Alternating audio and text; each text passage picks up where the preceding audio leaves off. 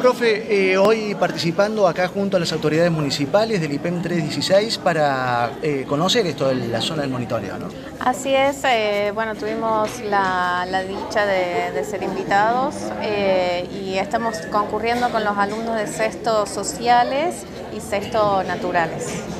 vienen bastante entusiasmados y, y ávidos por, bueno, por aprender, por conocer y por poder conocer parte de nuestra ciudad desde este lugar. Bien, eh, García, imagino también de alguna manera cómo se está trabajando con esta sala de monitoreo, ya están teniendo resultados y demás. Sí, por supuesto, y agradecemos la presencia de los chicos del IPEM, que, tratamos de llevar eh, esto que se ha eh, inaugurado recientemente aquí en Villa Carlos Paz, muy útil por supuesto para la ciudad y que hace tiempo que estábamos esperando. Y bueno, la idea es que todos los colegios nos puedan ir visitando, vamos a ir programando las visitas de, los chicos para hacerles conocer no solamente lo que tiene que ver con las cámaras de seguridad, sino con este eh, plan integral de seguridad que estamos llevando adelante con la eh, gestión del Intendente Avilés. ¿Cuántas cámaras están instaladas en la ciudad?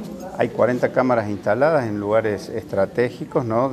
con un concepto diferente desde que había antes, porque anteriormente había ocho cámaras que solamente monitoreaban la zona céntrica, el microcentro, y ahora, por supuesto, este, se ha pensado desde la periferia hacia el centro, desde los barrios, las arterias principales, los puntos de, encuentro de, mayor cantidad de gente, eh, bueno, los, balnearios, los puentes, eh, de manera tal de que este, todos los lugares principales de la ciudad donde se mueve la gente estén monitoreados. Intendente, imagino que de alguna manera para esta temporada justamente se va a poner en marcha por primera vez esta sala de monitoreo, se la va a utilizar. Sí, ha sido muy importante ya desde que se ha inaugurado, como decía el señor Rubén, creo que es una nueva herramienta para la sociedad de Carlos Paz. Nosotros, si bien hay una vinculación directa con la Fiscalía, que requiere permanentemente material, también ha tenido mucho éxito en lo que hace la parte contravencional y preventiva. Nosotros, Rubén va a explicar seguramente más puntual que yo, pero han sido muchas situaciones que tienen que ver con el tránsito, con situaciones de riesgo, de vecinos que claramente se divisa una posibilidad eh, conflictiva. Hemos tenido también la prevención sobre presuntos o tentativas de, suicidio. El personal ha trabajado muchísimo. Ahora vamos a empezar semanalmente a comunicar un poco el trabajo semanal de qué es todo lo que el sistema de cámaras. Hasta el momento teníamos que compatibilizar una estrategia con la justicia y la policía, pero todos los lunes Rubén va a hacer un resumen de la acción de las cámaras en Carlos Paz. Estamos muy cerca de sumar 10 cámaras más, eh, creo que esperemos que sea antes de enero ya la colocación, más 5 móviles más que el ministro de Gobierno va a trabajar con lo que es la parte de seguridad BCP, lo cual va a potenciar, va a potenciar perdón, el trabajo nuestro en vía pública. Bueno, destacar siempre el acompañamiento de la provincia, destacar también el área de, tanto de Rubén como los chicos de monitoreo, porque realmente la capacitación es permanente y cómo nos estamos complementando con la policía local y departamental, estamos trabajando muy bien. Bien, eh, Presidenta, es importante esto de alguna manera y es bueno hacerle conocer todo lo que se trabaja desde, por ejemplo, la sala de monitoreo a los chicos, los más jóvenes, que ellos se van transmitiendo también lo más. Sí, por supuesto, y también la utilidad de las cámaras, ¿no?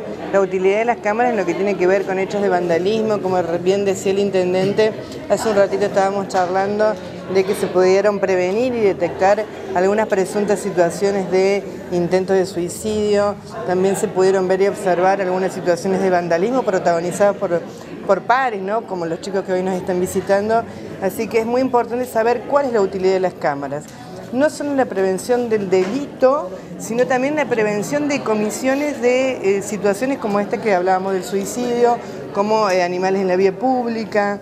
Este, así que bueno, es muy importante, muy importante que desde pequeños sepan cuál es la utilidad y se va a seguir trabajando en esto y cómo se trabaja en forma conjunta con la policía y con la justicia. Gómez, además de los colegios, van a poder visitar otras instituciones, el lugar. Mira, esto es una metodología que ya venimos implementando hace un tiempo ya, hace poco tiempo tuvimos al María Liz, los chicos conocieron este funcionamiento de cómo es la tecnología que está dispuesto en términos de, prevención y seguridad. Así que este es el puntapié inicial de sí, un programa en donde los colegios se van a acercar aquí, eh, instituciones que también iremos mecanizando eh, eh, y de alguna forma invitando para que ellos se acerquen. Así que este primer día está posibilidad que tenemos en el caso del IPEM 316, el agradecimiento de que ellos nos visiten para conocer cómo estamos trabajando. Así que este, esta metodología lo implementaremos también con otro tipo de instituciones que también tienen que tener conocimiento de cómo funciona esto.